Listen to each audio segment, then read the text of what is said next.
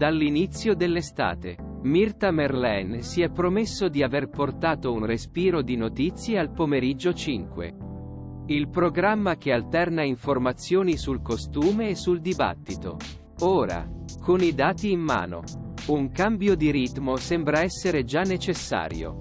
Il contenitore pomeridiano di Canale 5 non si rompe e viene costantemente battuto dalla vita rivale. Rai Live. Il problema. Secondo quale trappola? Sarebbe attribuibile soprattutto al tempo dedicato alle notizie sul crimine.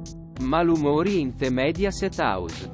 Passage Passage c'è il nome dopo un debutto incoraggiante. La nuova versione del pomeriggio 5 sta già subendo le prime battute d'arresto. Questo non causa poca preoccupazione nei leader dei Mediaset.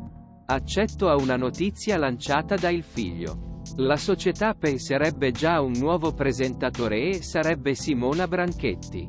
Tuttavia, emerge ulteriori dettagli. Per cercare di sondare il terreno e capire cosa non soddisfa il consenso degli spettatori. Si capisce che dietro le opere traballanti ci sono i temi di discussione scelti.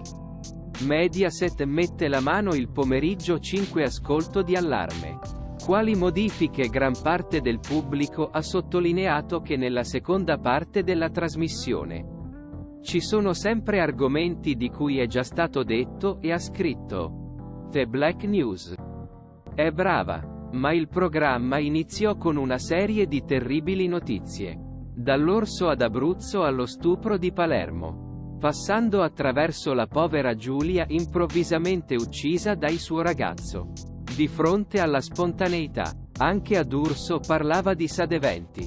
Ma ha sempre saputo ridere del sorriso. Quindi il programma sembra To a Black News bollettino.